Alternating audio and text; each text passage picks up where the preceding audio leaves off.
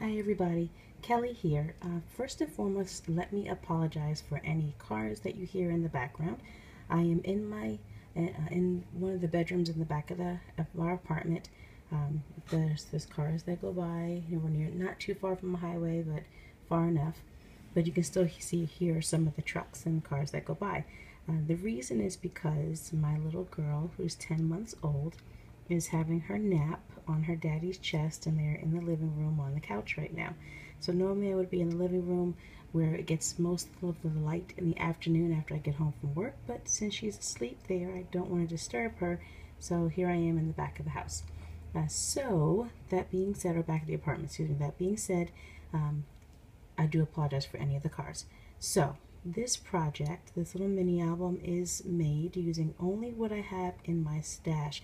I've made a vow to only use what I have currently in my craft space. So, um, not buying any new embellishments, not buying any new ribbon, not buying any new paper, only using that that which is what I have to use up what I have to stop hoarding all the stuff that we like to hoard so much of paper and flowers and rhinestones and all that stuff. The only thing that I will spend money on will be for glue um, and, and ATG tape, things like that.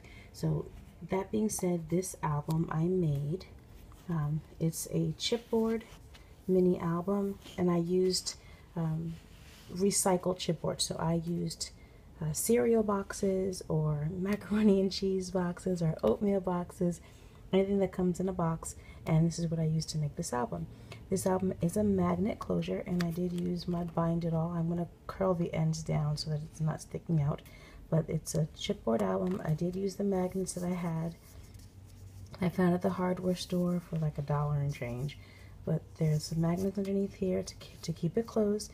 This album uses the die cuts with a, a um, the La Creme stack and the Bella Boutique stack. Those two stacks are so similar um, they carry both the same types of paper, the same patterns that I use both to really create that since I have both of those in my in my possession. So here we go. Opening it up, it opens up this way. I'm trying to pull back because I'm also using one hand. Um, it's six pages long. Two, one, two, three, four, five. Five pages long. Um, but on the first page, I did a waterfall mat and then I put the journaling spot underneath it. And all the and you can stick a picture underneath here. But the first one says defining moments. I used all the uh, the flowers and the journaling spots from the from the collection and the stickers from the collection. The only thing that's not from the collection would be the flowers. This is a Fiskars punch. Get in there a little bit clearer. Fiskars butterfly punch. And yes this is the Martha Stewart butterfly punch uh, the pearls throughout the album are ivory flat back pearls that I had in my stash, and I did use my Copic marker. Um, I think it was the R59. I think it's the R59. I'll put everything in the description or in my blog, and I'll put the blog link in the description. But those are, I call it those with my Copic marker. So then that would be page one, and then you flip it over to a two-page spread. Uh, again, the stickers from the collection, Martha Stewart Punch, uh, rhinestones or flatback pearls and then the butterflies and this is one page. And then the other one is the same thing just reversed.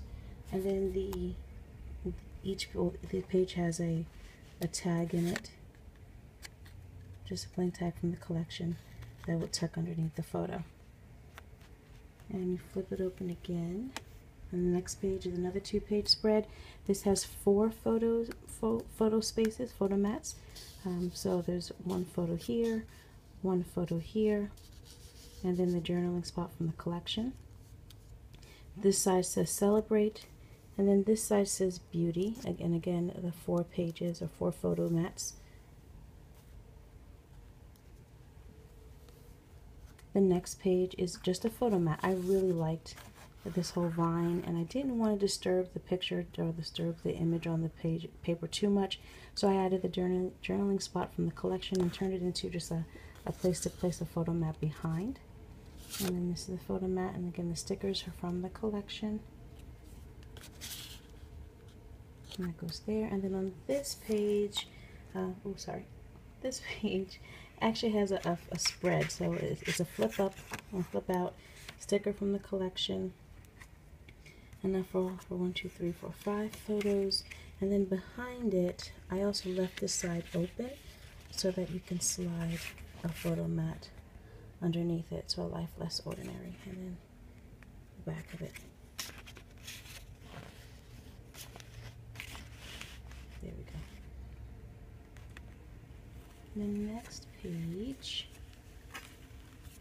is similar to the first one. I think this is actually my favorite. I love the flocking on this paper and this in this design and I added just some flat back pearls to the center of each of the scrolls on the bottom um, and then the flowers and the butterflies. Uh, this also flips up for a photo mat. So three photos, one, two, three, and then I left the sides open, the outsides open, so that I can slide a photo mat tag underneath each one. And the sides are just in reverse. So the same thing on the other side. Photo mats are the opening on the on the end, and then the photo mat and the journaling spot.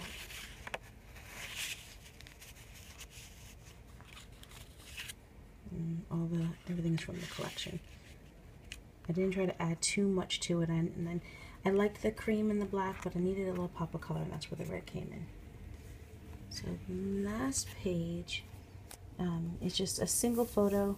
Nothing gets tucked underneath it. Everything is sealed down, um, but it does have the journaling spot. It, it, it is it mirrors the first page. Um, this one says it's as good as it gets. So if you go back, you have the defining moments, and then this is as good as it gets. And the back, the very back of the album really is not a page, it's really just the back cover. I actually turned into another area to add a photo and a spot where you can slip the journaling spot underneath it. So you have a little a little journaling area under here. There you go. And then the photo and the photo slip can slip underneath the sticker from the collection and your photo can go underneath there. But there you have it. That's the album. And then the back and the spine. But there it is. That's it. It's just real simple. Just a quick album. Super simple. But I used up my collection, which I'm so proud about. Yay!